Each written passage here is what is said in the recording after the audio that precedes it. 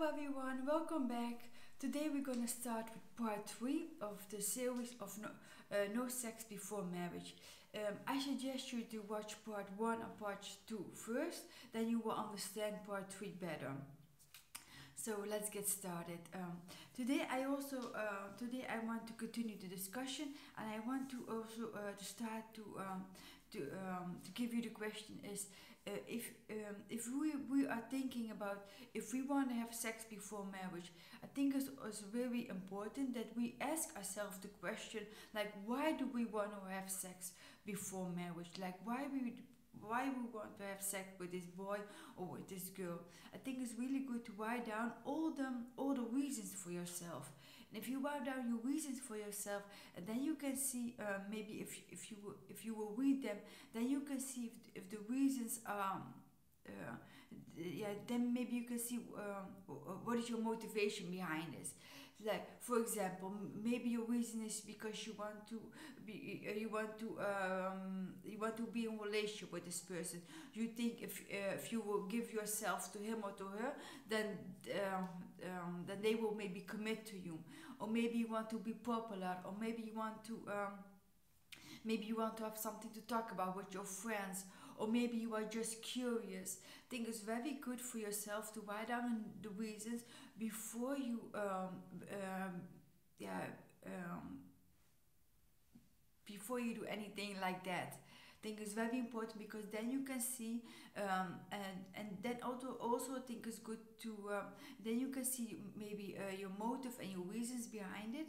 And I think it's very good then you can see like if you because if you do because if we have some sex before marriage i think some sometimes we as christians we make the mistake that we only focus on the compassion of jesus christ like i'm not saying now that jesus christ is not is, is not is not compassionate i i cannot i cannot describe in words how how merciful and how loving how loving god is and how much compassion he has but I think sometimes we make the mistake that we only look at his compassion and we think, oh, maybe um, we can do this sin or we can do this, but Jesus will, will forgive us.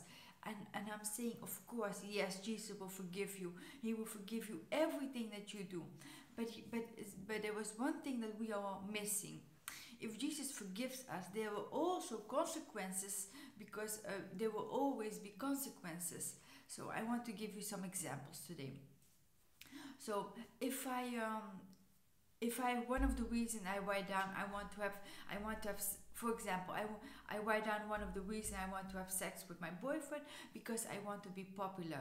Or um, or um, so I um, so I have um, so I have sex with my boyfriend and and later and later I think by myself you know what? This is not something that that makes me happy that gives me really joy that uh, that really uh, bring me close to God. So I want to stop uh, uh, I want to I want to stop and I want to I want to maybe break up with, break up with this boy. Or I want to ask if you want to be if you want to go to uh, in a courtship with me. But but he but he he don't want he don't want that. So you in the end you break up. And the consequences is that you maybe in school you, you went into him. Or maybe you see him a couple of weeks later uh, with another girl. That can be really hurtful. So even so um, um, so so even if you went, uh, let me maybe tell you a bit different. So even if you, um, even if you think by, by yourself like, I'm so sorry, I done that. I want to go back to God. I will go to confession. You went to confession. Of course, God will forgive you, but the consequences are still there. The consequences that you will see this boy at school or at work. I don't know, or somewhere else, maybe in a party or doesn't matter but you you will maybe still run run into him and maybe you will run into him with his new girlfriend and maybe you thought when you were having when you starting having sex with it that you and him gonna be forever for forever because you loved him. That's why you give him your body and your soul. So I think this, uh, that's something really big that we always um, that, that we never think about um, because we are so focused on the compassion of God that we always forget that we that, that our actions are, have also consequences. And I think um, uh, and um, okay and uh, uh, this is the consequences and sometimes we um, uh, but we we we think about this we don't think about these consequences and we don't think about that um, that love uh, love is such a uh, love uh, love is so emotional. Love can have such a such an impact in our life. We don't know what what what this relationship or what this uh, action will impact our life. And maybe you, um, and maybe you think yes but then um, i can use a condom or but i'm not even talking about that. I am not talking about the consequences that you can have a disease or you can get pregnant. These are so there are so many other consequences on that. I can make many hundred videos about that but but there was also the thing that we are missing. The love is not made um, love is supposed to be safe. You are not supposed to protect yourself for your loved ones. Like there was no condom for love. Um, and uh, and uh, uh, because and, and if it's love and if love is not safe if you have to protect yourself for your uh, for your loved one and maybe you maybe you do get pregnant and um, um or, or, or anything and then you maybe will make it uh, then maybe you will make a decision because you are desperate.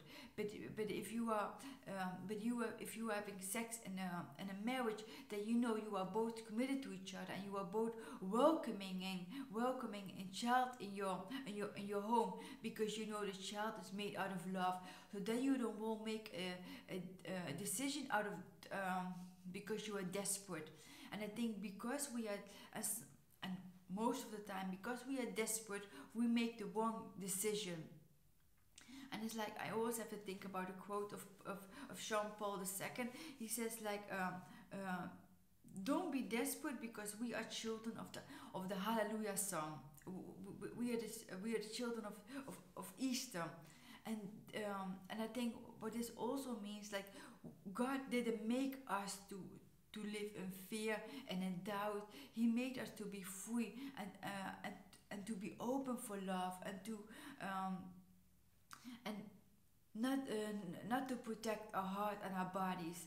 So that's why it's really um, so, so that's why we have to guard our heart until we meet the right person.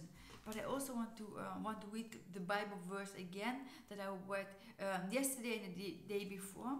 I want to read the same Bible verse because I think this Bible verse is so um, have so much um, so much wisdom in this Bible verse. I think if we really would understand it, it would really save us from a lot of heartaches. So the Bible verse is Genesis uh, chapter 2, verse 25 uh, to, to, uh, 24 to, 30, uh, to 25.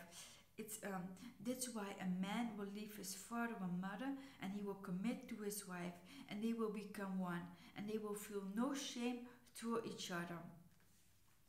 And and if we think about uh, that they will feel no shame, then I then I also have to think always about Adam and Eve uh, when they were in a beautiful garden. And God told them they can do everything. It's like God is also speaking to us. Like we can do everything, but uh, but God says like um, guard your heart and guard your body and your soul. Like He told Adam and Eve, you can do everything, but you cannot eat from this tree.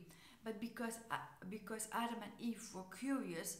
Uh, Eve was, curious and Adam was um, was her husband, so he followed her. Um, so this, I think, this is such a wise lesson. Uh, so because Eve was curious, Eve was not a bad was not a bad girl or something. She was just curious, as as most of these girls are who are having sex before marriage. They are just curious, who just just want to do it. So um, eat uh, Eve eat ate from the apple, and then Adam also eat from the apple. And then after after they eat from the apple, and God was looking for them. God was like, Adam and Eve, where are you? And and um, they were hitting each, they were hitting behind a tree. And I think sometimes for all of us, for all of us Christians, if we do something bad against God, then we hit is ourselves. But hitting ourselves today in 2018 is very different. We don't hit behind a tree anymore. But the way we hit now is like we don't go to church anymore. We don't uh, uh, uh, we don't discuss we don't we, we don't discuss our life maybe with our parents anymore, or we don't hang out with, with our Christian friends, or we um we, we stop to read to read our Bibles or um, and, uh, uh, uh, and we try to hid ourselves from God. So um, uh, so we just look for the world because your worldly friends are saying to you, you are doing nothing wrong. This is normal. You are young. You are having fun. You should explore your body and and. Maybe it, didn't work out with this boy or with this girl, but you know what? You uh, you should try again. And then you try again. You will you will have sex with another girl or another boy, and then you come in a in a, um, in a, in a, in a circle from the uh, the spiral. So so because we don't see God, but uh, we don't see God, and we don't take the time to be silent in front of God, and we, and we look for the people, and the people are uh, and the worldly people say there's nothing is nothing wrong with what. with what we are doing, then uh, then of course we uh, we start to follow the people and we and, and we turn our backs to God. But that is not the reason.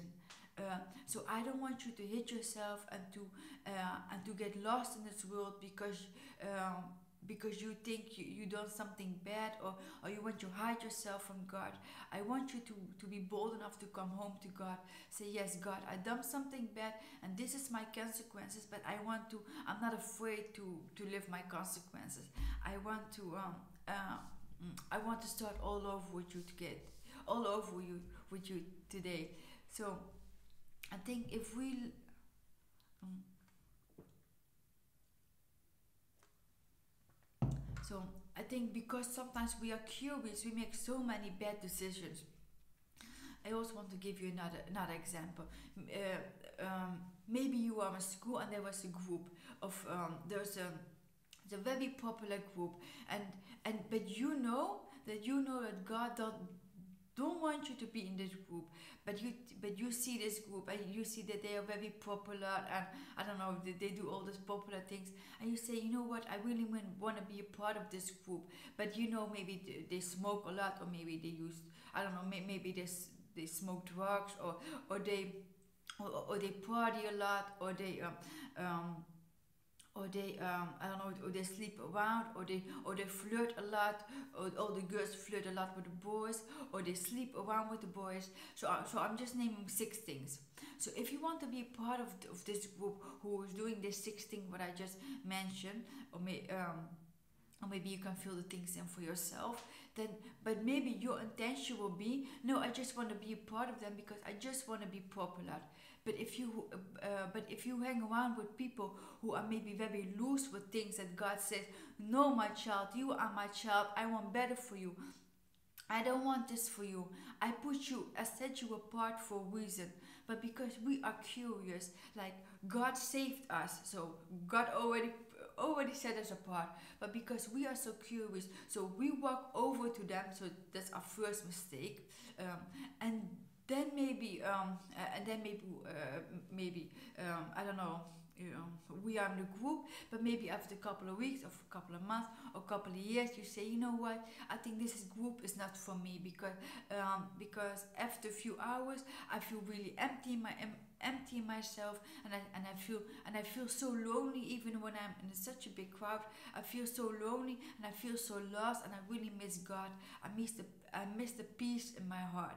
So uh, so you want to start all over again uh, maybe um, uh, you go to speak you go to speak to a priest and you, you go to confession I, I all can advise you all to go to confession. It's the most beautiful thing in the world. So you go to confession, and if you go to confession, of course the priest is gonna forgive, is gonna forgive your sin.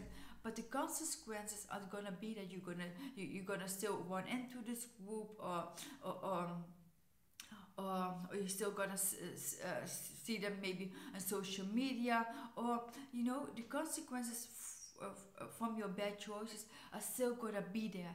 So that's why it's really important if you're thinking about doing something that, that God says, no, I don't want that for you. Uh, we have to think like, why does God says that? because God is a man of really few words. So if God says something, it really means something. It's not like just me. I talk a lot, blah blah blah. But God, he, God is a God of silence. If He says something, it means something. So that's why we also need to think about. And if you um, and because god is a god is a god of silence then we also need to go then we also need to look for the silence in our own hearts. So don't be afraid to uh, um, so don't be afraid to look this, to look up the silence with god. So um, so maybe you need to go to a quiet place, or maybe you can go to your room, or maybe you can make in your home uh, like a little chapel um, or some quiet where you can have some quiet time with God. Just ask God, God, I have this desire. I want to be popular. I want to have a boyfriend, and um, and I want all these things. I have all these feelings. Like, don't be ashamed. Just talk to God, uh, uh, like you were talking uh, with your Father, and He is our Father. Like God has many names, but I think His favorite name is is Abba, is Father. Just call him Father. I have this in my heart. I want to do this, or I done this, and, and I and I see the consequences now. I didn't see them before. God, help me to clean up my life and help me to come home to you. Help me, God, to lead my life because I don't know I don't know how to do it. And and of course it's really hard because um, because we don't see God, but um, but we see and we we hear all our friends and we hear all the things that, uh, that they are promoting in the media, um, on television. So that's why it's really important to stay focused on God and to guard your heart. I cannot say it enough. So um, so. Uh, so we have to know we as Christian we cannot look everywhere, we cannot see everything, we cannot hear everything. So if you are maybe in a group who really really uh, maybe discuss like uh, uh, sexual topics, so start to remove your remove yourself from this group or if you are in a group who are very loose with with dating and with with things from the world maybe partying you have to you have to know like we we live in this world but we are not from this world your your job is not to is um your job is not to be the coolest chick or the um, uh, or the most popular uh, person person maybe uh, maybe in your school or at your work. Your job is to get to heaven. Like this is all temp- temporary things. Like like uh, don't get lost in this world. Like god made you for more. But we cannot do this by, by ourselves we can do this if we just stay in communication with god. Like we have to know we may need to make ourselves humble humble in front of god. We have to know we cannot do this by ourselves. Like this is really hard this is really hard. Of course it's really hard. I'm also struggling uh, i'm also struggling. That's why we need to stay close to god and we need to stay in communication with god. And and we need to uh, we not, don't need to be stupid like god give give give us wisdom. We need to use our wisdom. And we need to ask the holy spirit like holy spirit lead me. If my friends are not good help me um, help me to let go of them. So uh, so maybe uh, maybe you need to be alone maybe for a couple of weeks couple of months a couple of years. I don't know what god's plan plan is for your life but i know that god's plan is better god's plan is better than your life what you have for yourself because god loves you and he sees the whole picture. He sees everything from this whole week this whole month this whole year. And don't and uh, and don't waste your life by looking for the one like oh is she the one? Is he the one? You, you you don't have to make yourself crazy to look for the one. You are complete you are your one person and god has a vision for your life. And if god wants somebody to be in your life uh, i mean uh, or boyfriend or girlfriend or friends that god will put them in your life. You don't need to work so hard for it.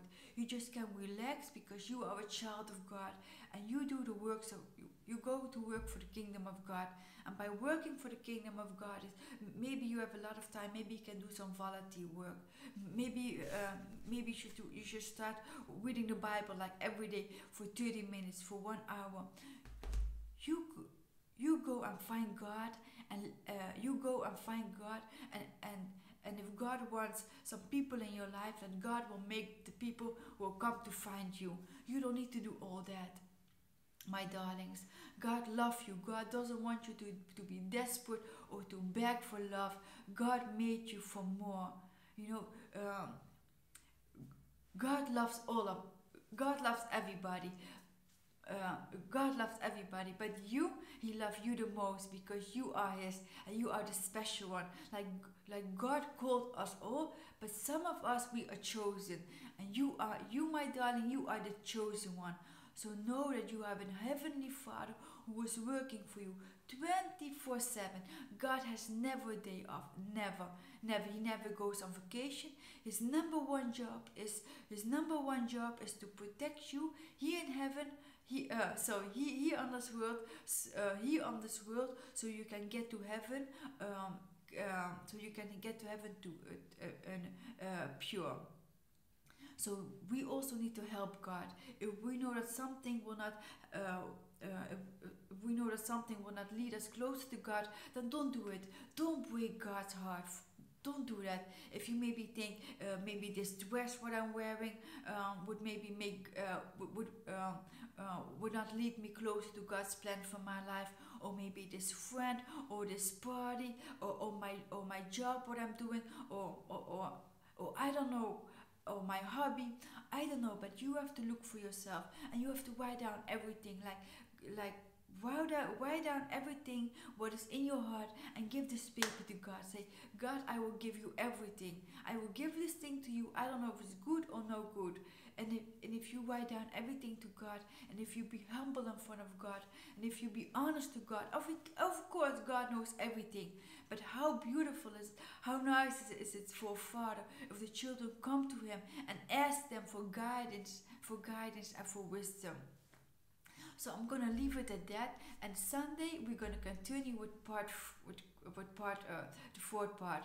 And if you have any questions, please let me know down below, and uh, and I will be happy to answer all your questions. And don't be hard on yourself if you already uh, if you already make some mistakes, if you already maybe had sex or maybe done done uh, other things. You know you can go to confession. You can start over with God every day and God is waiting for you my dear. God is waiting for you. God is waiting for you to give your life to God because God needs you. He is not complete without you. I will see you on Sunday